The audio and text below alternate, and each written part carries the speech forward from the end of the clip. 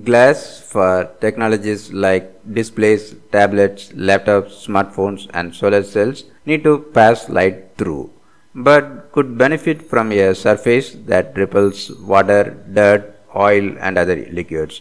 Researchers from the University of Pittsburgh have created a nanostructure glass that takes inspiration from the wings of the glasswing butterfly to create a new type of glass that is not only very clear across a wide variety of wavelengths and angles but is also antifogging.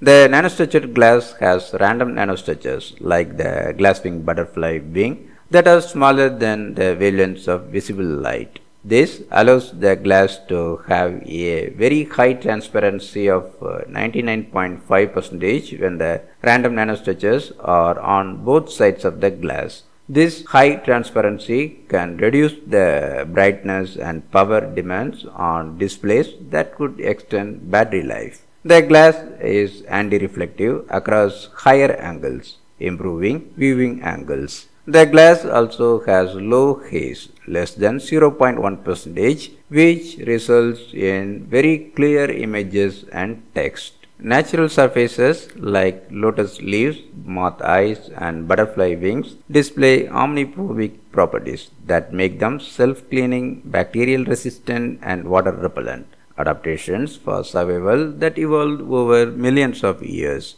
Researchers have long sought inspiration from nature to replicate these properties in a synthetic material and even to improve upon them. While the team could not rely on evolution to achieve these results, they instead utilized machine learning. They used Bayesian active learning for achieving this.